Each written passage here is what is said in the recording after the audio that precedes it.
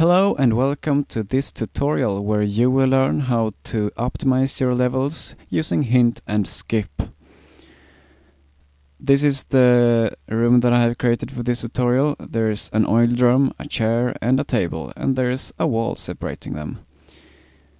So the first thing I'm going to do here is compile the map and then I'm going to press map and load portal file. This is a feature that is only present in Orange Box engine games, so if you're using any other engine, then uh, you will need to um, check the uh, leaves and portals inside of the game, and I'll show you how to do that at the end of the tutorial.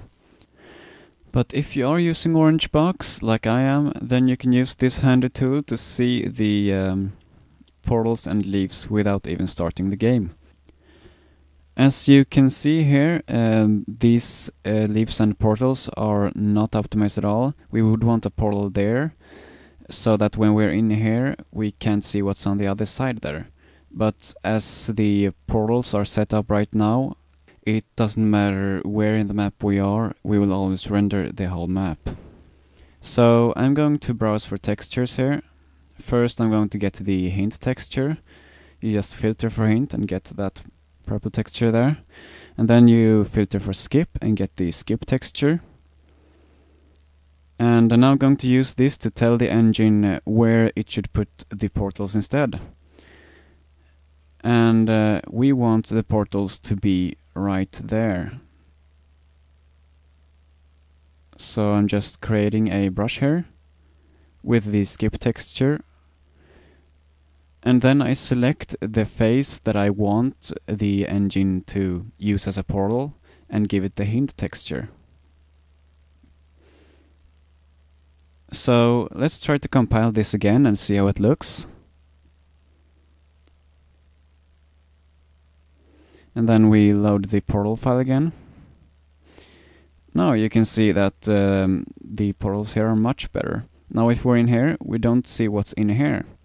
And that's exactly what we want.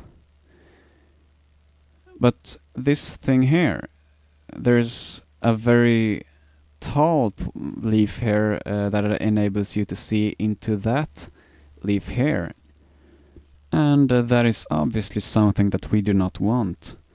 So now you might ask yourself, Silverfish, why is that leaf there at all? There is no obvious reason for that leaf to be there. Well, uh, my guess is that uh, they have some kind of limitation in the engine to how large a leaf can be. So therefore they split all uh, maps into a maximum size for the leaves.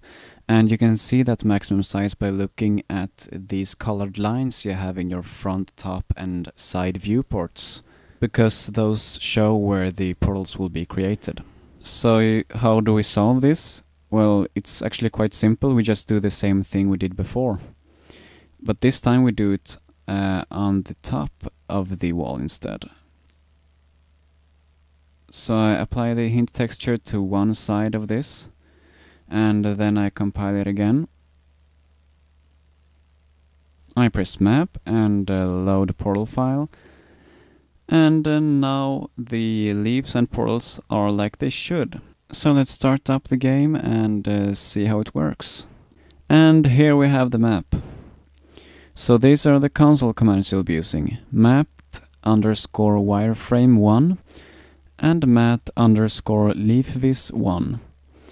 Wireframe enables you to see the world in wireframe, to see through walls, and uh, leafvis will enable you to see the leaf you are currently in with a red outline.